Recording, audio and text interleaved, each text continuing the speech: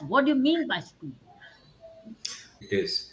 Now, as far as speed is concerned, ma'am, one, it's as a sports person, whether when I was playing, I learned a lot of things from my coaches and also I learned a lot of things from trial and error.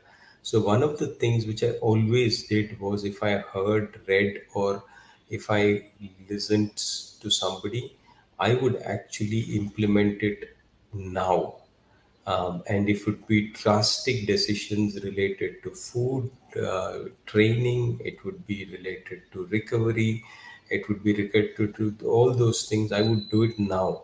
So i've tried everything in my life in terms of food in terms of mindset in terms of aggression or defensiveness on court strategy on court. All of these things have been very very helpful. So i am in a hurry uh, as far as experimentation is concerned and that has really helped for me. Uh, if somebody says that we should do it and if i believe it i'm doing it starting now. And uh, those things actually have really been helpful. Um, many a times i have failed but at least i know that this this part of it has failed. Uh, so that's something uh, as far as and um, i'm not in a hurry.